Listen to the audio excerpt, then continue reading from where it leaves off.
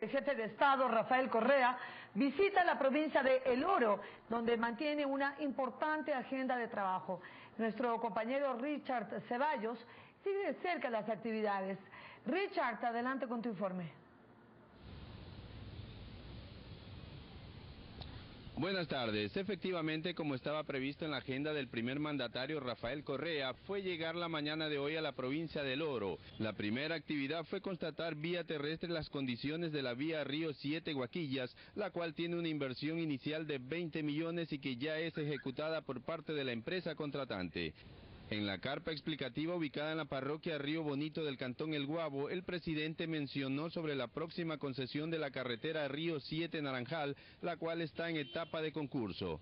Otro de los actos que efectuó el primer mandatario fue la firma de concesión de autoridad portuaria de Puerto Bolívar con la empresa turca GIL por NA, con un plazo de 50 años y una inversión de 750 millones de dólares.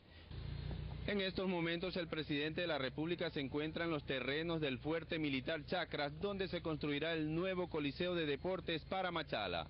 La agenda presidencial culmina con la visita y explicación técnica de la construcción del parque ecológico en un área del ex aeropuerto de Machala y luego un recorrido donde se construye el nuevo hospital del Instituto Ecuatoriano de Seguridad Social.